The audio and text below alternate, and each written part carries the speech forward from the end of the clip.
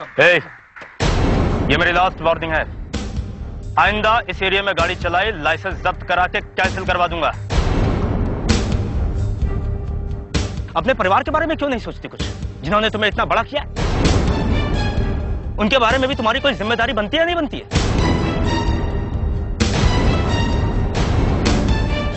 मेरी बात तुम्हारे भेजे में आ रही है नहीं आ रही हैं? पुलिस वाले की वर्दी पहन रखी तो इसका मतलब ये नहीं कि आप हर तरफ़ अपनी धौस जमाते फिर आप जैसे पुलिस वाले अमेरिका में टके टके में मिलते हैं। ए, और हाँ पहले अपनी टोपी ठीक कर लीजिए। पुलिस वाला। ये ये इंस्पेक्टर इधर के, इधर इंस्पेक्टर प्लीज़ आप नाराज़ मत होइए। मैं मैं आज मैं प्रॉमिस करता हूँ कि मैं ऐसे गाड़ी नहीं चलाऊँगी। ये समझते क्या अपने आपको मेरा मैं पुलिस में मेरा बाप पुलिस में मेरा दादा पुलिस में पूरा खानदान पुलिस में और ये लड़की कह रही है कि हम जैसे पुलिस वाले इसके अमेरिका में टके टके मिलते हैं। ये, ये प्रताप साहब की वजह से मैं कोई एक्शन नहीं ले रहा हूँ वरना इसको तो मैं जूं ठीक कर दूँगा। हम आइंदा से ध्यान रखेंगे। ऐसे इस तरह से अकेले बाहर नहीं निकलने देंगे। क्या बाहर ना निकले? अरे इसको समझाओ खतरनाक लड़की है पागल है ये। जी इंस्पेक्टर मैं ध्यान रखूँगा। ठीक है। क्या ठीक है? अरे इंस्पेक्टर ठीक है सब कुछ ठीक है इसको ठीक करो इसको। हाँ जी पागल। दिमाग खराब कर दिया इसने मेरा इसको अमेरिका भेजो वही ठीक है ये। ठीक है जी जी ऐसे। ऐसी लड़की आज तक नहीं देखी मैंने पागल कर दिया इसने मुझे। ओह गॉड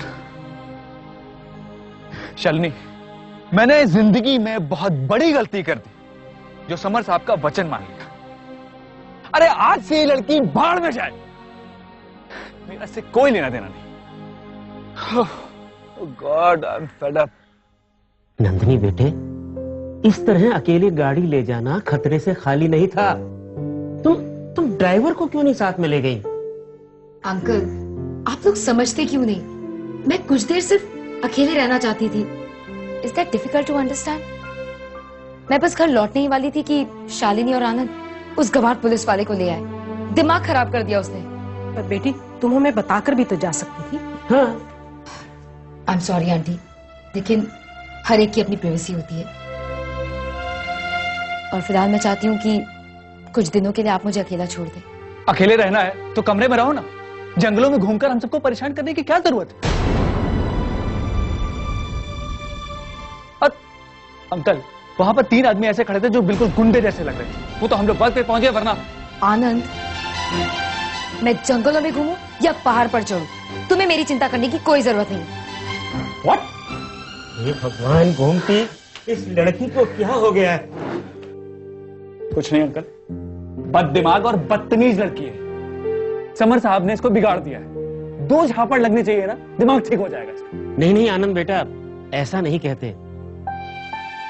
ज़रूर उसे कोई चीज़ परेशान कर रही है। तुमने देखा नहीं आजकल किस तरह खामोश रहने लगी है वो? ज़रूर उसके दिमाग में कुछ ख्यालात चल रहे हैं। कारागार पड़ती रहती है सुबह शाम। हर पता नहीं किन ख्यालों में डूबी रहती है। शालिनी अगर कारागार पढ़ने का ये नतीजा है इससे अच्छा तो गोल्फ खेले। कम से कम नज़रों के सामने तो रहेगी। प्रभु जी गलती हो गया साहब। गलती हो गया। गलती हो गया साहब। प्रभु जी क्या हो गया आपको? दिखाई नहीं देता। मैम साहब गोल्फ का नाम सुनते मुझे सर में फटने लगता मैम साहब। मुझे बहुत चक्कर सा आ रहा है मैम साहब। मैं नहीं बचूँगा लगता मैं मर जाऊँगा। क्या बात कर रहे हैं प्रभु जी भला एक गोल्फ की गेंद लगने से आज तक मरा है कोई? साहब वो गेंद नहीं साहब तो आपका गोला था साहब तो आपका गोला। उससे मेरा पूरा सर फट गया साहब प्रभु जी आपको कुछ नहीं होगा। आप जाइए आराम कीजिए। आज रात यहीं सो जाइए घर जाने की ज़रूरत नहीं है। हाँ। नहीं मैम साहब मैं यहाँ रह नहीं सकता मुझे घर जाना पड़ेगा मैम साहब ठीक है तो जाते समय मुझसे दवाई लेते जाना और जहाँ चोट लगी है ना वहाँ मल लेना। और हाँ कल तुम्हें डॉक्टर को भी दिखा देंगे। ठीक है? ठीक है साहब। अब जाओ। ठीक है साहब। घूमती पता नहीं आजकल नंदनी को क्या हो गया है? खामोश सी रहने लगी है। ये किन ख्यालों में खोई रहती है? कौन है क्या है भाई? बाप सब चक्कर है सारा है। अरे बाप रे बाप उफ, क्या हो गया? उस दिन से मुझे ऐसा चक्कर ऐसा आ रहा है कि बार बार कुछ लग रहा है कहीं गिर न जाऊँ। लेकिन चलो अभी क्या किया जाए? जो हो रहा है ऊपर वाले की मर्ज़ी है अरे सुनो भैया। हाँ। आपके पास माचिस है? माचिस आप लोग कौन माचिस तो होगा? लेकिन मेरे सर में इतनी दर्द है। लोग क्या चाहते मुझे? मुझे कहाँ ले जा रहे हो? अरे बाबू मुझे कहाँ ले जा रहे हो? मुझे तो छोड़ दो छोड़ दो मुझे मुझे मुझे छोड़ दो। चल चल चल चल ए, मुझे छोड़ दो कहाँ ले जा रहे हो कौन है आप लोग क्या क्या चाहते हैं? मैं मैं कहाँ आ गया? कहाँ से आ गए सवाल तू नहीं सवाल मैं करूँगा। और मेरे सवाल का सीधा सीधा जवाब देना। वरना तेरी बोटियाँ बोटियाँ काट के कीमा बना दूँगा समझे? आप मुझे माफ़ कर देना साहब। हमसे गलती हो गई साहब। मैंने भीम के बाग से सिर्फ़ दो तीन फल चोर के लाया था। और वो मैंने खाया साहब। मैं आपका समझाता हूँ दोबारा ऐसा कभी हरकत नहीं करूँगा साहब। मुझे माफ़ माफ़ कर दो साहब। अगर तो चुप। कुछ नहीं। कितने कमरे हैं उस घर में? सर वो छोटी सी कुटिया उसमें मेरा दो कमरा साहब। हम तेरे घर के बारे में बात नहीं कर रहे हैं। उस घर के बारे में बात कर रहे हैं जिसमें नंदनी रहती है। कितने कमरे हैं उस घर में? और कोई चौकीदार है? चौकीदार तो नहीं सर उसका चार कमरा है। उसमें एक में बाथरूम है एक किचन रूम है और ऊपर का जो कमरा साहब वो बंद रहता है। वो बराबर ताला लगा रहता है मैं कभी आता जाता नहीं हूँ साहब। चुप! नंदनी किस कमरे में रहती है? नंदनी और सानली और सामने वाले कमरा में रहते साहब। और पीछे प्रताप साहब का कमरा है और एक डाइनिंग रूम है और ये सब पर आप लोग क्यों पूछ रहे हो मुझसे? सच सच बता नहीं गर्दन तोड़ दूँगा तेरी समझा? माथा में मत मारो मेरा पहले से चोट लगा। बताओ उस घर में कोई हथियार है? हथियार नहीं साहब। हथियार कोई हथियार नहीं है। मुझे मुझे छोड़ दो साहब। मुझे मत मारो साहब। नंदनी के बारे में साफ़ साफ़ बता। कब आती है? कब जाती है? कहाँ जाती है? क्या करती है? ठीक ठीक बता नहीं तो और डालूँगा तुझे। मुझे कोई पता नहीं साहब। वो कब आती है? कब जाती है? मुझे कोई पता नहीं साहब। मैं अपना काम सब मतलब करता मुझे माफ़ माफ़ कर दो साहब।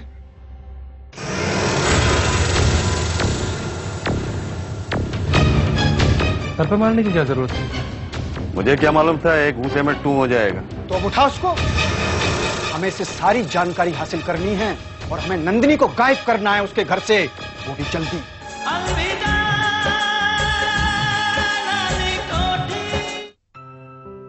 आलसी आदमी है। कहीं जाकर सो रहा होगा। जब देखो छुट्टी मारता रहता है गुठली मारता रहता है। निकाल दूँगी इसे। काम चोर कहीं का। गोमती तुम तो खामा खा नाराज़ हो रही हो। भाई प्रभु जी की तबीयत ठीक नहीं है। घर पर बीमार पड़ा होगा बेचारा। अरे यार अरे क्या हुआ? कुछ नहीं शालिनी बेटे ये जो कुछ भी हो रहा है ना प्रभु जी की मेहरबानी से हो रहा है। प्रभु जी क्या नहीं आए? सारे घर का काम हम दोनों को करना पड़ रहा है। आप मटर छील कम रहे हो खा ज़्यादा रहे चाचा जी आप हटिए मैं कर देती हूँ। नंदिनी क्या कर रही है? एज यूजुअल कारागार पड़ रही है। देख भाई गोमती आज खाने में मिर्चें कम डालना वरना नंदनी फिर कहेगी कि मेरे लिए उबला हुआ खाना अलग से बनाओ। आप चिंता मत कीजिए। अब मैं इसका टेस्ट समझ गई हूँ। ये मैं क्या देख रहा हूँ? बाहर कोई भी नहीं है। सब लोग यहाँ खाना बनाने में लगे हुए हैं। और प्रताप जी भाई देवे आप यहाँ क्या कर रहे हैं? प्रभु जी कहाँ हैं? वही तो। आज बिना बताए प्रभु जी ने फिर छुट्टी ले ली। बहुत ही आलसी हो गए हैं। मैं तो कहती हूँ तुम हमारे लिए ना गाँव से कोई दूसरा नौकर ढूंढ। दो आंटी मुझे तो लगता है उनकी तबीयत खराब हो गई होगी। नंदिनी ने गोल्फ की बॉल मार दी थी ना? मुझे तो डर है कहीं उनका दिमाग परमानेंटली डैमेज ना हो गया Anand don't talk nonsense golf ball के लगने से किसी का फ्रैक्चर नहीं होता। पता नहीं तुम्हारी ये बुरी आदत कब जाएगी। जब देखो मुझे दोषी ठहराते रहते हो। आंटी क्या बात है? घर में कोई पार्टी पार्टी दे रहा है क्या? इतना सारा खाना बन रहा है? नहीं नंदिनी कोई पार्टी नहीं हो रही। वो क्या है ना? आज प्रभु जी नहीं है क्राइसिस है। इसीलिए सारे घर का काम हम सबको ही करना पड़ रहा है। अरे तुम चिंता मत करो। बस अब थोड़ी देर में सब कुछ तैयार हो जाएगा। आंटी मैं भी मदद करूँगी। नंदिनी एक किचन का काम तुम्हारे बस की बात नहीं। एक काम करो तुम जंगलों में जाओ सैर करो गोल्फ खेलो वो वैन लेकर ड्राइव पे जाओ हाँ? आनंद तुम थोड़ी देर के लिए चुप नहीं रह सकते। लगता है तुमने अभी तक सीखा ही नहीं कि इंसान को जब तक बोला नहीं जाए तब तक उसे अपना मुँह नहीं खोलना चाहिए। जाओ ना वहाँ गाँव में जाकर समाज सेवा करो। और वो क्या?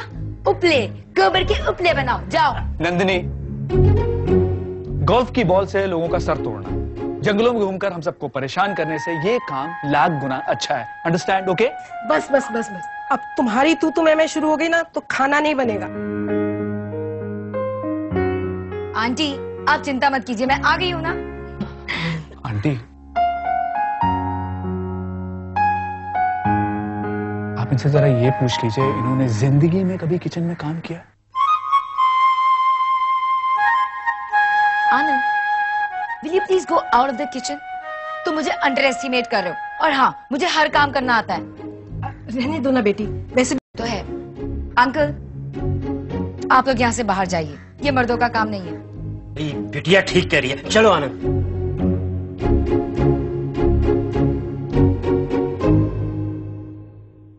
आंटी क्या बन रहा है? वही रोटी दाल सब्ज़ी। आलू मटर चावल रायता। आंटी मैं देखूँ?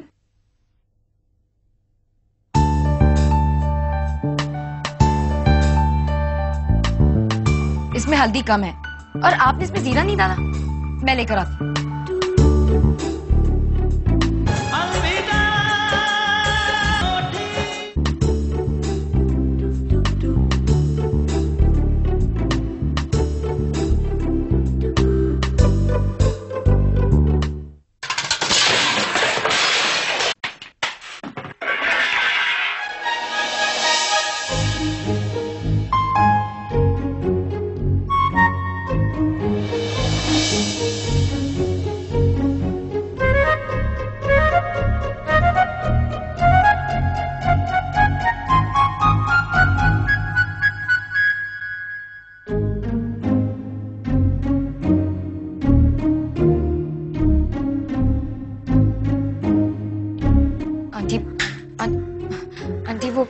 शालिनी मैं मैं, सिर्फ़ आंटी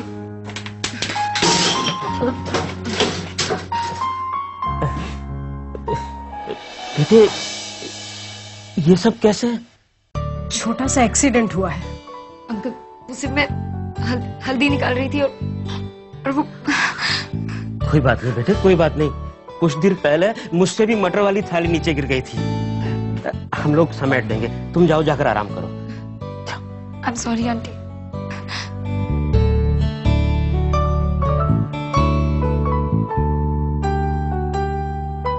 मुबारक हो।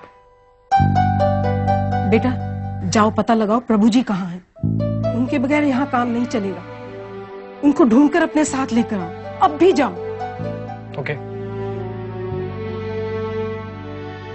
गोमती तुम इस बात का ख्याल रखना कि ये लड़की दोबारा किचन में नहीं आए।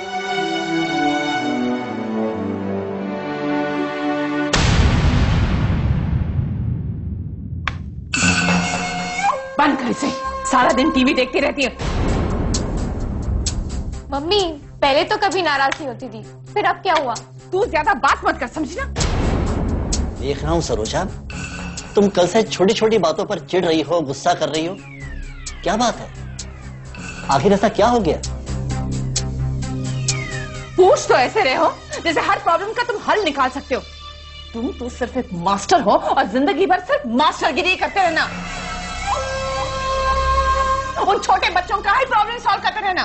तुमसे बाकी कुछ नहीं होने वाला है। कौन है? जी मैं डिस्टर्ब तो नहीं कर रहा। अरे नहीं नहीं समर साहब आइए ना आइए बैठिए। नहीं नहीं बस मैं मैं सिर्फ़ इतना कहने आया हूँ कि वीरेंद्र जी मुझे आपकी मदद चाहिए। जी हुक्म कीजिए। हम आपके किसी भी तरह से काम आ सकें, ये हमारे लिए सौभाग्य होगा। देखिए, कल, लाल कोठी का सौदा होने जा रहा है।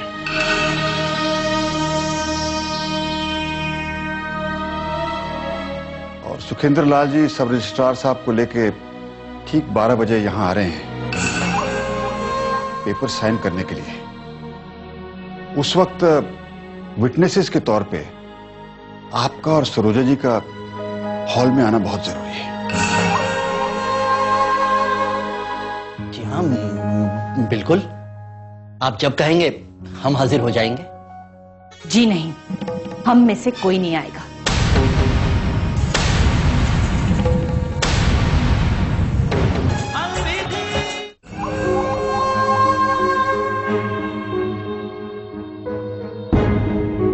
समर साहब मैं सरोजा की बदसलूकी की मुआफी चाहता हूँ। लेकिन आप तो उसके स्वभाव से अच्छी तरह से वाकिफ हैं। जी, मैं मैं समझ सकता हूँ। लेकिन अगर हो सके तो उन्हें कल नीचे हॉल में लाने की पूरी कोशिश कीजिए बहुत ज़रूरी है। क्या है कि कल का दिन बहुत महत्वपूर्ण दिन है, वीरेंद्र जी। और मेरे लिए बहुत मुश्किल भी। कल से लाल कोठी किसी और की हो जाएगी। और अगर उस पल आप दोनों मेरे साथ रहे तो वो मुश्किल पल मेरे लिए किसी हद तक आसान हो जाएगा। मैं आपकी मनस्थिति समझ सकता हूँ, समर साहब। इतना आसान नहीं होता है अपने इतिहास को अपने से अलग कर पाना।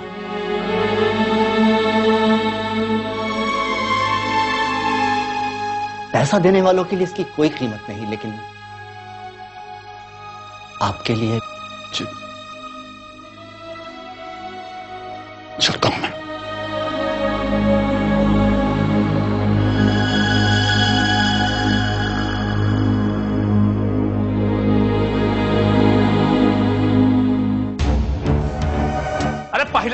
बहुत कम है हमारे पास। और तुम लोग हो कि एक के बाद एक बेवकूफियाँ करे जा रहे हो। अरे तुम्हें बोला था नंदिनी को उठाने के लिए। तुम वहाँ प्रभु को उठा के लेके आ गए। अब प्रभु का क्या करेंगे हम? अचार डालेंगे? भैया हमने सोचा कि प्रभु को वहाँ से हटाकर उधम को नौकर बना के भेज देंगे। ताकि वो नंदिनी पे निगरानी कर सके। और मौका मिलते ही हम उसे उठा लेंगे। तुम्हें सोचने के लिए किसने कहा था? एक बात सुन लो 24 घंटे का वक्त है हमारे पास। उस 24 घंटे में अगर कुछ कर लिया तो कर लिया। नहीं तो लाल कोठी निकल जाएगी हमारे हाथ से। कल सुखेंद्र लाल आ रहा है रजिस्ट्रार को लेकर कोठी में दस्तखत करवाने। एक बार दस्तखत हो गए सारा मामला फिनिश। समझे कि नहीं? तो क्या हमारे पास कल तक का ही वक्त है? कल लाल कोठी बिक जाएगी। भैया आप कुछ कीजिए। दू के पट्टे। अब तुम्हें करने के लिए कुछ भेजा था वहाँ पे। तुम तो कर नहीं पा रहे हो। अच्छा सुनो। परेशान मत हो। हम कोशिश करेंगे यहाँ सौदा रुकवाने की। और तुम लोग जो हो जो काम के लिए भेजा है ना उसे जल्दी से जल्दी फिनिश करने की कोशिश करो। ठीक है। उल्लू के पट्टे। पता नहीं क्या क्या करते रहते हैं। सुनो अब तुम वहाँ पहुँचने की तैयारी करो। क्योंकि मेरठ में इस वक्त मामला बहुत गर्म है। याद रहे सिद्दीकी भाई। वो सब रजिस्ट्रार किसी भी हालत में कल लाल कोठी ना पहुँच पाए।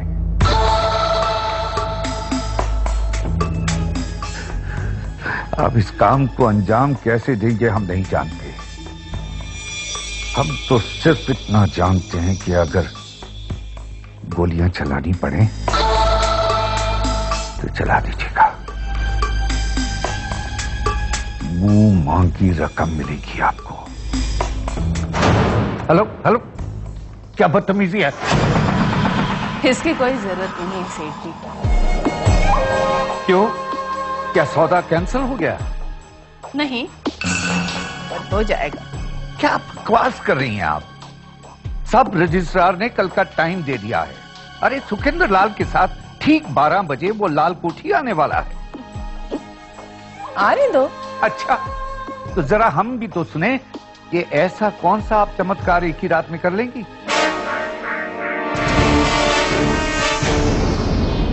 सुनने सुनाने का वक्त गया अब, सेठ जी। अब हम कुछ कहेंगे नहीं, बल्कि करके दिखाएँगे। समर साहब लाल कोठी का सौदा आपके बिना और किसी के साथ कर ही नहीं सकते। ये हमारा आपसे वादा रहा।